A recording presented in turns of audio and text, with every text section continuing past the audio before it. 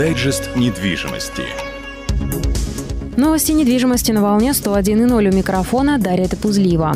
Госдума упростила условия предоставления господдержки на расселение аварийного жилья. Перечень условий для получения регионами средств на эти цели сократился с 10 до 3. Соответствующий документ принят в третьем и окончательном чтении депутатами Госдумы. В документе по данным сайта bn.ru упрощается получение федеральной поддержки на программы ликвидации аварийного жилищного фонда.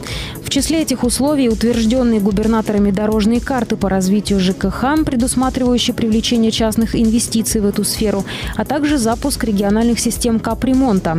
Законопроект также предусматривает расширение полномочий общественных контролеров ЖКХ. Общественники будут привлекаться к проведению госжилищного надзора, а их заявления и решения становятся обязательными для рассмотрения контрольными органами. Дайджест недвижимости. Роснедвижимость начинает реализацию социальной программы «Молодая семья». Новый кредитный продукт предусматривает вычеты из стандартных процентных ставок по ипотеке для семей, где один из супругов в возрасте до 35 лет. Также ей смогут воспользоваться семьи, имеющие детей и владельцы материнского капитала. Для молодых людей, у которых родился ребенок, будут применяться бесплатные платежные каникулы на время декретного отпуска мамы.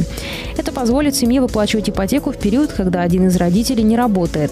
Эксперты Эксперты отмечают, что данная программа позволит повысить доступность ипотеки для молодых семей на 10-20%, сообщается на сайте компании. Дайджест недвижимости. По данным информационного агентства Роснет.ру, в мае зафиксировано снижение цен на новое жилье. Квадратный метр в новостройке стоит 42 595 рублей. Это почти на процент меньше, чем в апреле. При этом минимальная цена предложения на первичном рынке Кирова в мае составила 30 тысяч рублей за квадрат, максимальная 58 500. Дайджест недвижимости.